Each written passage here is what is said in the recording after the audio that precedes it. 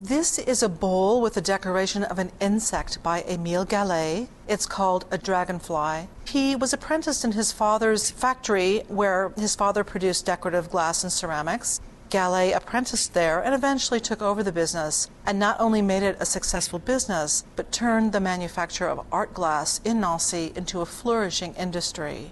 Gallé was not just a smart businessman, however. He was also a poet and he was a passionate horticulturalist. You can see in the painting shown of Gallé in this case that he is shown with plants and trees around him and the kind of impassioned activity of designing one of his vases. The quote that you see next to it that says, Our roots are in the depths of the woods, on the edge of the springs, on the mosses. That was inscribed on the doors of his studio.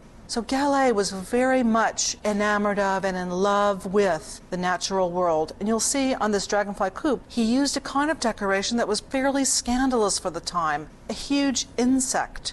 What would make Gallé think that an insect, especially a dragonfly, which can be kind of scary when they get large, be such an interesting topic for a vase? But this is what Gallé's work was about. It was about looking at the natural world and bringing the beauty of the natural world into glass in all kinds of ways. So not only did he look at insects, but also at trees and flowers, and we can see this interest in the natural world throughout his work. These vases are characteristic of a style that we call Art Nouveau, which means new art in French.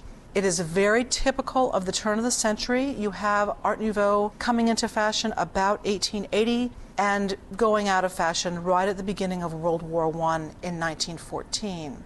The characteristics of the Art Nouveau style are the interest in the natural world, an elegant flowing curves that you see throughout the decoration, and also an interest in all different kinds of colors and techniques.